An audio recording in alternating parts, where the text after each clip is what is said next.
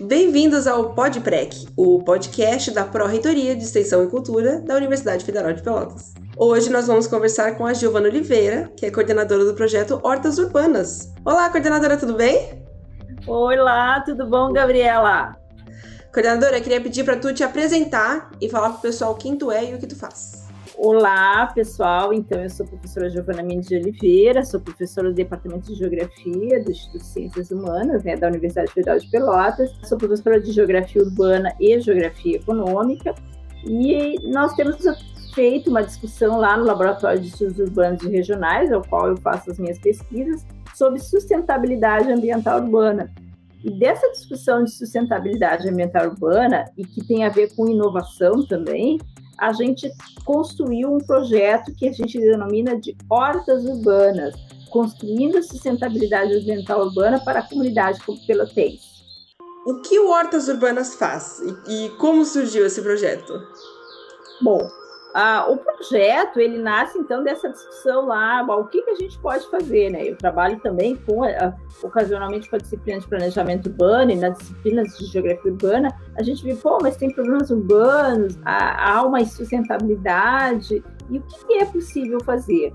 E nessa discussão do que, que é possível fazer, sair da análise, da caracterização dos problemas para a prática, a gente uh, pensou nesse projeto de hortas urbanas, que é um fenômeno que eu venho ocorrendo em muitas cidades. Um exemplo bem clássico disso é Detroit, com todos aqueles problemas que, que Detroit viveu e vive, agora não nem tanto, mas viveu aí no início do século, em função da, da sua da, da perda da, da pujança da sua economia, a fome e a miséria foram aparecendo, né? E as hortas urbanas surgiu como uma alternativa para as populações. E a partir disso, hortas urbanas vêm acontecendo no mundo inteiro. Então, pô, por que, nós não podemos pensar em Pelotas, que é uma cidade que tem uh, muitos problemas ambientais, muitos problemas sociais, por que, que a gente não alia isso à questão das hortas urbanas? E aí nasceu o projeto, ele nasceu em 2017, a gente começou muito fragilizado, né? Era um grupinho bem pequenininho, uma equipe lá da Embrapa que apoiava, nós da geografia, e nós começamos numa UBS, né? A UBS General Osório. Havia muitos problemas, a gente não tinha recurso nem nada, então a gente teve que, até a horta não saiu, uma, uma horta no chão, saiu horta suspensa, né? Depois a Católica assumiu e eles deram outros rumos para o projeto e a gente parou lá. Mas a gente não desistiu, daí foi 2018, 2019, e estamos aí atravessando a pandemia. Hoje a gente tem quatro grupos de hortas que a gente apoia e mais duas escolas. Então, mesmo, e muitos deles nasceram com a pandemia, né? E a gente já está com um projeto na, na Vila Municipal, então a coisa só anda, né? A coisa não não parou. Claro que não está como a gente gostaria, mas a gente não parou. A gente continua aí apoiando e crescendo desse movimento de hortas urbanas. Para você, qual é a importância de ter uma horta, de existir uma horta urbana para a comunidade? Olha, Gabriela, a gente acredita que as hortas urbanas, primeiro que é um projeto que não é só para Pelotas, a gente fala em projeto para país, né? Já falei para vários poderes públicos isso, e, e, e é o projeto para o mundo. A própria FAO apoia isso. E as hortas em si, elas são alimento para as pessoas. Né? É comer de forma saudável, porque a gente, eu nem, às vezes eu nem menciono as pessoas, ah, mas é com veneno sem veneno, é com agrotóxico. Não, não tem veneno na cidade, não, isso nem se discute, né? Mas às vezes até eu me esqueço de falar, porque na verdade para nós é condição de sine qua non. Inclusive as, as pessoas que nos procuram, as comunidades que nos procuram para montar hortas, elas querem sem veneno. Então, ela é uma alimentação saudável. Então, a gente tem todo o povo da nutrição, né? É porque eu me esqueci de falar que é um projeto que ele é multidisciplinar, e depois a gente pode aprofundar nisso, mas é, ela é segurança alimentar e nutricional, porque as pessoas plantam seus próprios alimentos e consomem esses alimentos. Mas, para além disso, a gente acredita que a horta é sustentabilidade para a cidade. Por quê? Porque ela melhora a paisagem, ela pode abranger o microclima da cidade, ela aumenta a, a capacidade de infiltração, a questão dos resíduos sólidos, né? Aquele resíduo que ia para o aterro, ele passa a se tornar compostagem, né? Uh, a cidade ela tem um espaço de, de lazer para as pessoas, ela é economia, né? o que tenho falado, ela é economia para o poder público, porque enquanto o poder público vai gastar dinheiro com resíduo, ele, ele vai apoiar as hortas, o, o custo é baixíssimo do poder público, é economia para as pessoas, porque as pessoas passam a ter uma outra concepção de que uh, se eu estou comendo arroz, feijão, uma couve, uma saladinha de alface, isso é uma iguaria. É, uma, é um, um, produto extremamente requintado, né? Eu planto isso, não é caro plantar, porque eu posso até plantar em vasos, como eu disse, a gente começou com hortas suspensas, né? Uh, e as pessoas economizam, economizam e comem bem, e passam a ter uma outra relação com a natureza, com o meio ambiente. Elas começam, o que as professoras da nutrição, né, e as alunas da nutrição falam, a gente deixa de olhar com bons olhos para os produtos ultraprocessados. A gente acha que aquela geleinha que eu posso fazer, né, meu hambúrguer de berinjela, é, é uma iguaria, é um prazer, é uma, é uma festa, né, quando a gente faz. Coordenadora, a extensão ela tem uma característica de juntar os conhecimentos que são produzidos na universidade e levar isso para fora. E a partir disso eu quero te perguntar sobre os cursos que fazem parte do Hortas Urbanas e como eles se relacionam com a comunidade, como eles, eles se relacionam com as pessoas. Então, é, esse é um projeto que ele é eminentemente um projeto de extensão. Mas eu tenho dito o seguinte: ele não é só um projeto de extensão. Um projeto de extensão é um projeto de extensão, é um projeto de pesquisa, porque ninguém vai para a comunidade uh, sem levar um, uma, uma, um rol de pesquisas feitas pelos próprios professores e uh, das pesquisas dos colegas que são desenvolvidas em várias universidades. Então, que ele é um projeto de extensão e é um projeto de pesquisa também. Então, a gente trabalha eminentemente com a comunidade e com todos os problemas que isso acarreta. Não sei se problemas, mas as dificuldades, porque não é fácil, porque a gente tem vários saberes. São saberes dos professores, os saberes acadêmicos e os saberes da comunidade. E a gente não, não despreza nenhum deles. Tanto é que a gente usa uma metodologia que a gente chama de pesquisação, né? a pesquisação é justamente ir para a comunidade, analisar aquilo que a comunidade deseja, os, os seus, seus projetos, os, seus problemas, e traz para dentro da universidade, ver que, como é que a gente pode contribuir academicamente e retorna. Mas nesse retorno, nem sempre eles aceitam. A gente tem vários exemplos que a comunidade não gostou das propostas que a gente trouxe e que a gente voltou de novo, fomos buscar outras propostas para poder fazer esse processo. Então, é um projeto de interação, de diálogo, é um projeto de empoderamento da comunidade, porque as outras não são nossas, as outras devem ser da comunidade, né? E quais são as áreas que a gente tem? A gente tem a cliente, né, que faz todo esse processo de, de, discussão com a comunidade, de tipo de plantio que eles desejam, quais são as épocas adequadas desses plantios, plantios, quais são as, as caudas, uh, os controles biológicos que a gente pode fazer para esse plantio. Depois a gente tem a nutrição, que faz toda a discussão do valor nutricional, por que usar cada vez mais in natura e cada vez menos uh, ultraprocessados. Então elas fazem toda esse, essa discussão, ah, por que o hambúrguer de meligela ele pode ser muito benéfico para essa comunidade, ao invés de um hambúrguer de carne, sem contar que hoje a carne é caríssima. Nós temos a gastronomia que, que, faz toda a discussão de como preparar e que ela é fundamental. Eu digo sempre que é o nosso carro-chefe, né? Ah, eu não gosto de cenoura, mas o que é possível fazer com cenoura?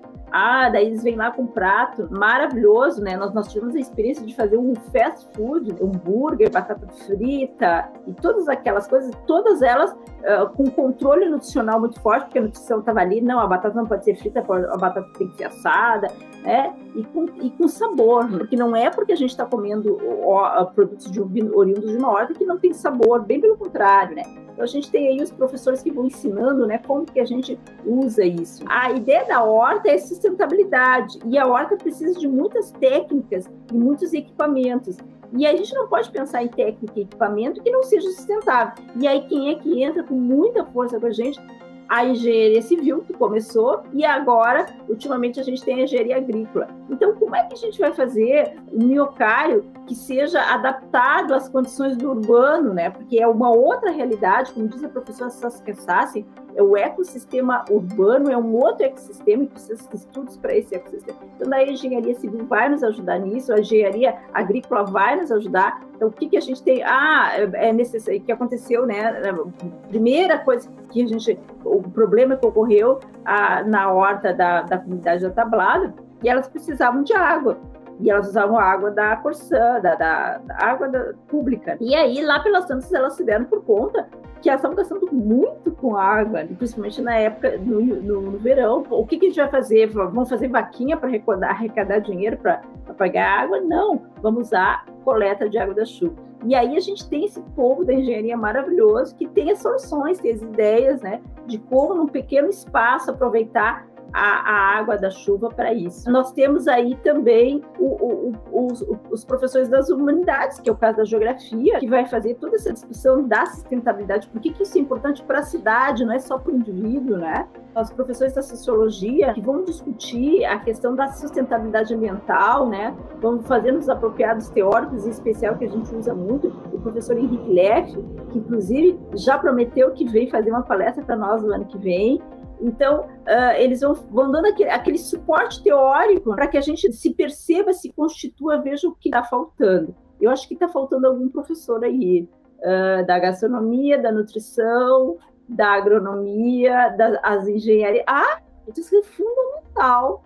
A, a, os professores da saúde. A gente começou com a professora Taylor, que é da enfermagem, e hoje a gente tem a, o professor Maurício, que é da farmácia, inclusive da parceiros nossos, né, da Universidade Católica. Hoje a gente está com um projeto de implementar abelha sem ferrão para ter própolis. Então, vamos ter o chás e vamos ter o própolis. E também nós temos as punks, que nós gostaríamos de ter adiantado bem mais esse processo, mas aí a pandemia nos parou um pouco, porque também muitas das plantas que a gente pode estar colocando nas nossas hortas não necessariamente são uh, as convencionais e podem ser as punks. E aí a gente tem a professora da biologia, Jaqueline Dorigon, lá da FUG, que é nossa parceira para trabalhar com isso. Coordenadora, quando você menciona todas essas pessoas que agem em conjunto para as hortas existirem, pessoal da nutrição, pessoal da engenharia, a gente percebe a coletividade que existe num projeto desse. Porque é um projeto de sustentabilidade, mas ele é um projeto de união também. A união de, de mentes pensantes, união de, de mãos trabalhando ali que vão cuidar daquela terra e cuidar desses alimentos.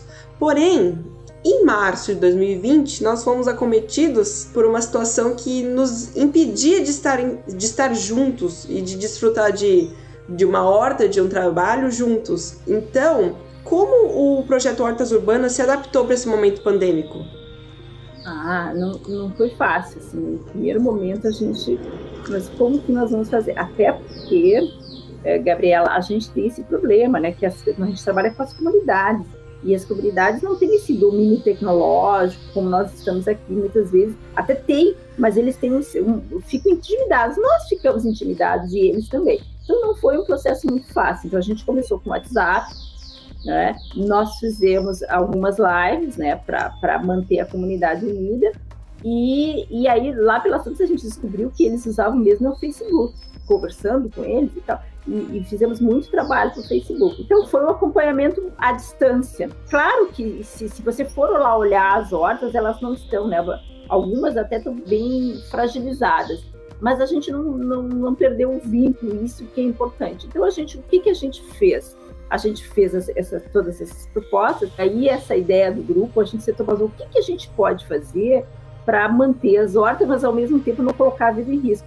Então a gente tinha as propostas, aí o pessoal da saúde disse, não, isso não pode, isso não, isso vai provar. Não, a nossa tarefa é que algumas, a gente trabalha com muitas pessoas idosas, né? Então é, é complicado. E aí, uma das soluções que a gente tem enfrentado, tem feito e tem, tem sido uh, vitorioso é a produção de mudas. Então, hoje a gente tem desenvolvido a ideia das mudas. Então, como é que a gente faz? A gente fez vídeos, eu mesmo fiz vídeos, plantando uh, sementinhas, né? a gente fez, e aí as mudas são pequenas, elas podem ser feitas individualmente, e a ideia é que essas mudas cresçam e a gente possa colocar no chão. E aí a pessoa que plantou as mudas pode colocar lá no chão da sua horta, da, da, da horta comunitária. A gente também incentivou que as pessoas, ah, não, mas não, não tá dando para botar lá, o terreno, o canteiro está muito ruim, não está muito bem feito. Então planta na sua casa, porque depois você vai, essa muda vai gerar sementes e a gente vai poder agora cessando a pandemia, voltar e ter as sementes daquela. Então, e aí e também é um aprendizado, né? Porque muitas pessoas têm o domínio de trabalhar com a agricultura, mas elas trabalham no, rural, né? Não no urbano. Então, esse nosso processo foi muito focado nisso. A gente fez estufa, a gente fez miocário. O pessoal da UAI, por exemplo, veio com a gente durante a pandemia, a gente nunca foi presencialmente, então a gente teve alguns contatos e foi possível via videoconferência, né? Mas a, a ideia das mudas, de fazer as mudas, plantar sementes, foi bem, bem importante para nós, para nos mantermos unidos. E a, a, equipe também, porque tem muita gente da equipe que nunca se viu, né? Porque a gente trabalha com alunos, ó, é, um, é um projeto de extensão, né? E os alunos são fundamentais. E, e aí a gente tem, a gente tem muitos alunos que chegaram no Horta, já estão um ano e a gente nunca se viu presencialmente.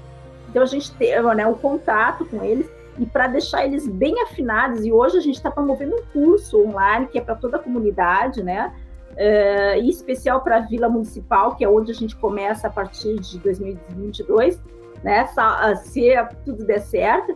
E, e esse curso foi feito para eles. E aí a gente eh, manteve os alunos afinados nisso, com os cursos, né, que eles pudessem participar, que eles pudessem se organizar. E, e o curso ar e está bem, bem cotado. Também a gente tem assessorado duas escolas, que querem fazer o projeto, escolas do, do Estado, que querem trabalhar com a ideia das, das hortas urbanas.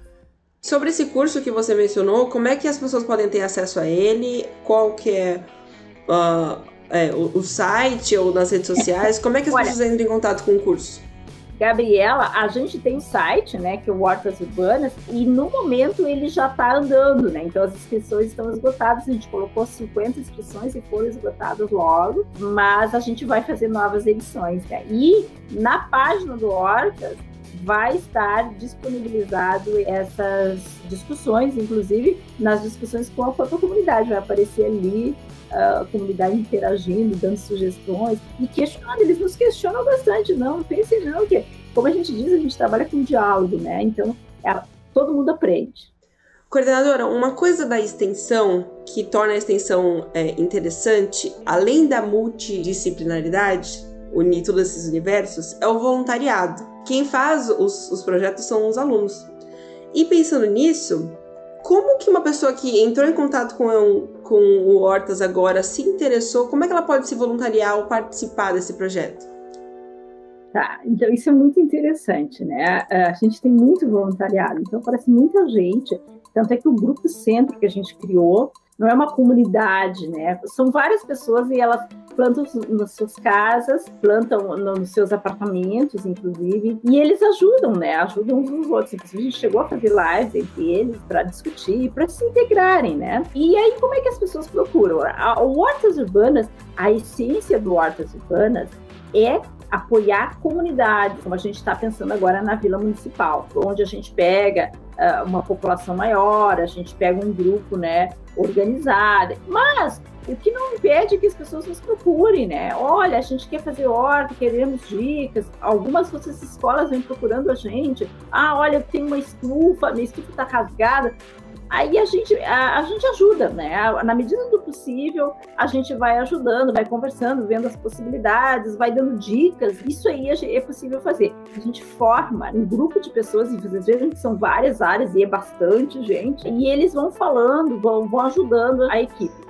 Uh, e aí a melhor maneira é entrar na página, entrar ali no site do Hortas e dizer, olha, eu tenho interesse. A maior parte das pessoas chegou até nós dessa forma. Outra forma que também aconteceu muito, e aí eu, eu quero dizer aqui, nós sempre tivemos muito apoio da universidade, né? E isso é para nós é muito gratificante da nossa universidade nos apoiar nesse processo, que é o Fórum Social. O Fórum Social sempre fazia, e essa iniciativa que vocês têm aqui também faz com que a gente divulgue as ideias. Então as pessoas vão nos procurando por aí. Às vezes procuram a PREC mesmo, podem procurar vocês e vocês passam para nós. Então a ideia é buscar hortas urbanas, vai no site, vai na universidade uh, e tenta entrar em contato que a gente sempre responde. Muitas vezes não consegue fazer exatamente aquilo que a pessoa quer, mas alguma ideia as pessoas normalmente saem contentes, né, com a, com a ideia, com a ajuda, com o atendimento que a gente tem dado para eles. E o Hortas é um projeto que só tende a crescer. Porque quando a gente fala de, de, de, um, de um projeto de sustentabilidade, ele envolve tantas outras coisas mais que aí ele vai se ramificando para pessoas, para outros projetos, e agora coleta chuva, e agora a gente faz o minhocário, e agora nós adubamos. A minha pergunta para você é: quais são os próximos passos do, do Hortas? olha, nós estamos focadas em retomar as nossas hortas, fazê-las mais produtivas, mais bonitas, ajudar. E isso os alunos querem muito, porque tem muita coisa, o pessoal de agronomia, eles querem prática, né? Para o pessoal da nutrição, eles querem estar tá dando as orientações, eles não querem ficar, das engenharias nem se fala, né? Então, é, é, retomar presencialmente as hortas e que a gente possa trabalhar, os alunos possam trabalhar, porque eles gostam disso, essa parte prática, e, e, e deixá-las em dia, né? Ajudar para que elas fiquem em dia mesmo, ajudar na organização, de melhorar, né? Chamar mais gente, enfim, fazer essa divulgação. Esse é o nosso foco nas hortas que a gente, manutenção das hortas que a gente já tem. E a gente está com a ideia de essa proposta na Vila Municipal né? Então já tem aí encaminhamentos, a gente está com apoio lá do posto de saúde, algumas organizações, então a gente está aí. E as hortas que aparecerem aí a gente vai ficar bem feliz. Tem uma ideia também que está nascendo dentro desse grupo centro aí de, de fazer uma proposta de fazer alguma coisa ali naquela a, daquela área ali do lado dos transportes, que é uma área que é bem grande, que é da universidade, que já, já, já se vinculou ali, que há a possibilidade de fazer uma horta ali a gente já, já olhou. Então, essas seriam as grandes possibilidades que a gente tem aqui no momento. E vamos esperar, vamos divulgar, vamos esperar que as pessoas possam uh, fazer essa, nos, nos, procurar e ter se incentivar para fazer hortas, né? E também, como eu disse, não é ativismo, né? Isso é um, um erro de achar que as hortas elas são um ativismo, que é só ir lá fazer. Não, tem toda uma ciência, tem toda uma discussão a respeito disso, tem pesquisas que estão envolvidas com isso, né? Recentemente a gente publicou uma obra das nossas experiências e da aplicação das tecnologias que a gente desenvolveu às hortas, e, e também a gente está isso, a, a, nossa ideia é fazer uma, uma outra obra mostrando a, o quanto a gente avançou né, nessas nossas tecnologias, nas avaliações dos impactos das hortas urbanas, essa foi a PREC divulgando projetos. Muito obrigada por ter ouvido ou nos assistido até aqui. Quero agradecer muito a coordenadora Giovana Oliveira, que trocou esse papo especial com a gente. E se você se interessou pelo Hortas Urbanas, por esse projeto incrível da UFPEL, entra lá através do site wp.ufpel.edu.br barra Hortas Urbanas e fique por dentro de todas as atividades do projeto. E os cursos que ainda vão sair. Muito obrigada por nos ouvir até aqui. Até o próximo episódio. Tchau!